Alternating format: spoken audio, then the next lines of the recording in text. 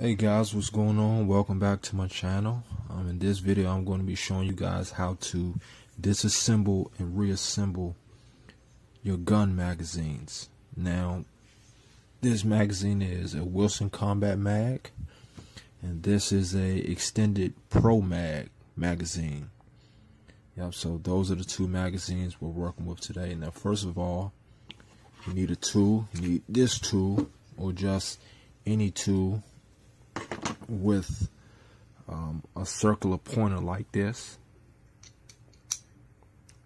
Okay, so we need a pointer to uh, stick in this little circle right here and this hole right here. So we got to push it in like this. Push it in. Push it in. And slide it. Push it in and slide it forward. See that? Slide it forward like that. Yeah, push it in some more. Push it in some more. Oh, you gotta push it, yeah. Yeah. Take it out like that. Here's the base right here. Just took that out.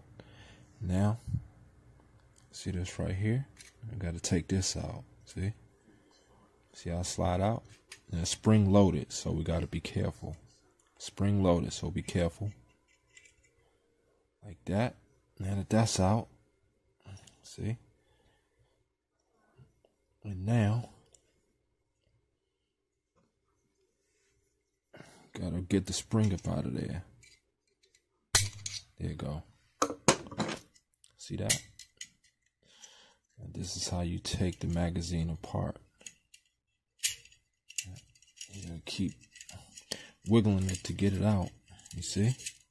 Now remember the same way it came in, it has to go in the same way. Or the same way it came it comes out. It has to go in the same way. So pay attention to that. Alright.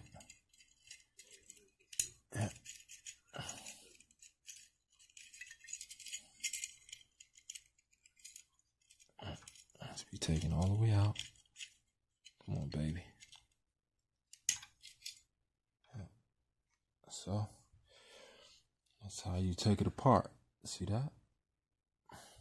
Here's the spring right here.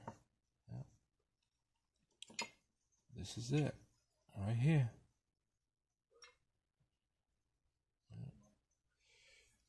Now that's out. Now we work on a extended mag. All right. Send extended mag same way. Push it in and push this forward, the base. Push that in, push the base forward. See that? Comes out just like that. See? This one is a lot more easy to come out though. Maybe because it's, you know, it's a, a bigger magazine. so,